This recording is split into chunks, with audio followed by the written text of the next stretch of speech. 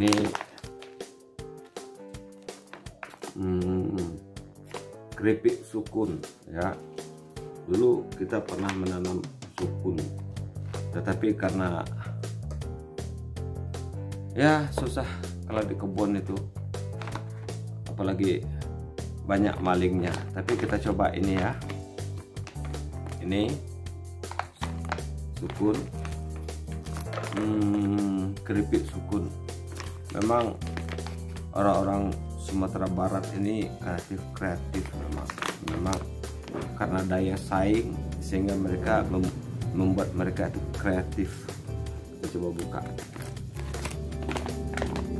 Buka. Ini.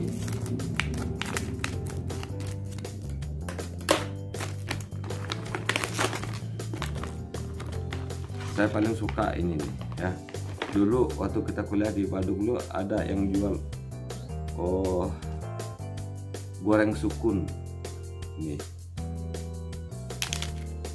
hmm. walaupun gigi saya lagi sakit ya maklum faktor usia tua-tuarnya keripik-keripiknya hmm. hmm. sama kamu 11 ini aja. Mantap.